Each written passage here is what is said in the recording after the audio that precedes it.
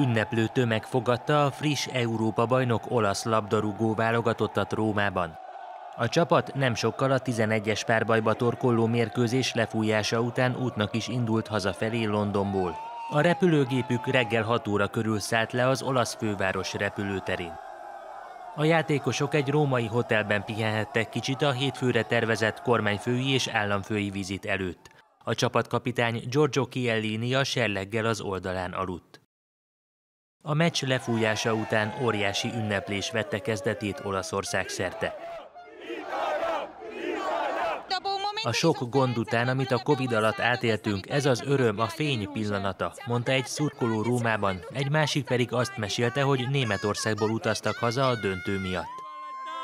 Sergio Mattarella olasz elnök a Wembleyben izgulta végig a mérkőzést. Az ünneplő politikusról készült felvételek bejárták a közösségi médiát.